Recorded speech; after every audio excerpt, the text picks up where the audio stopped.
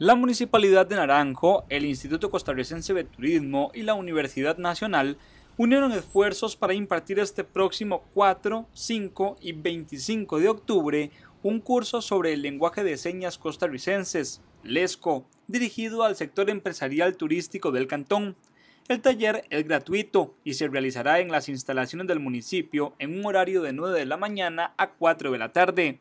Nuestro interés principal es invitar a todo el empresario turístico de acá de Naranjo y el comercio en general para que pueda participar en este taller del ESCO en el marco del, cantón, eh, del proyecto Cantón Accesible, que se estará dando el 4, el 5 y el 25 de octubre de 9 de la mañana a 4 de la tarde. Este es un taller que la comisión ha pues coordinado en conjunto con el Instituto Costarricense de Turismo y con la Universidad Nacional. ¿Cuál es el requisito para las personas que quieran participar?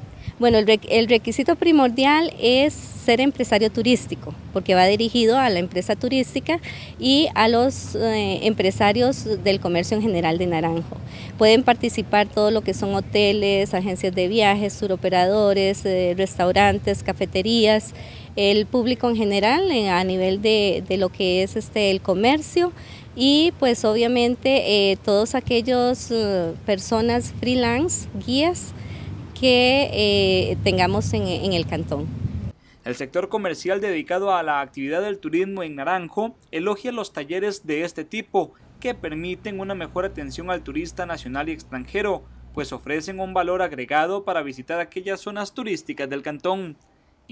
Se ha venido trabajando proyecto eh, Naranjo para que sea cantón accesible y nosotros como empresarios estamos tratando de incentivar esa parte, de que los clientes, tanto turismo nacional como extranjero, puedan ser atendidos de la mejor manera, con, teniendo las condiciones que ellos necesitan, tanto en accesibilidad física, infraestructura, como también al, tener este tipo de talleres, LESCO, eh, puedan ser atendidos de la mejor manera. Con este taller ya son dos los proyectos apoyados desde el Departamento de Gestión Social que buscan hacerse de manera inclusiva.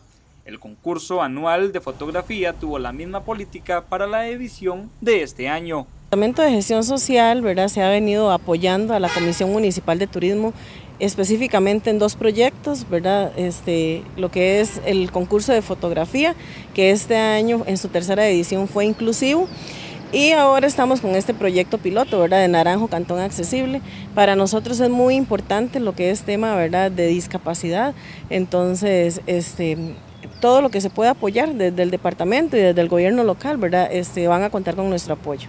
Ahora este taller del ESCO, ¿verdad? Este, que va a ser de forma gratuita, eh, patrocinado por el ICT, ¿verdad? Para nosotros es sumamente importante que los empresarios turísticos y el comercio en general puedan atender de la mejor manera a todas las personas. Este taller es completamente gratuito. No obstante, el cupo es limitado por aspectos de espacio, así que las personas interesadas deben reservar su espacio en el Departamento de Gestión Social del municipio.